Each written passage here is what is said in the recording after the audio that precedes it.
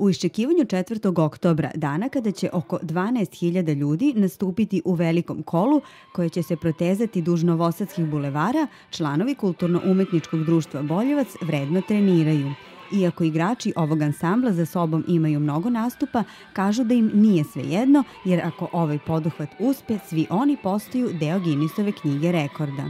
A očekivanja su Pa očekujemo da se stvarno skupi toliki broj ljudi koliki se najavlja. Bilo bi lepo. Uzbudljiv i lep provod, pre svega.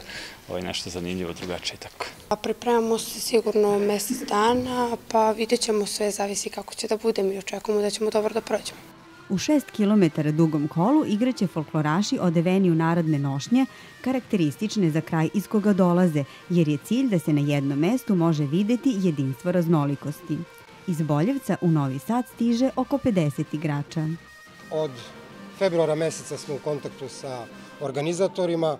Oni su odlučili da se odigraju tri igre iz tri različita etnokoreološka područja.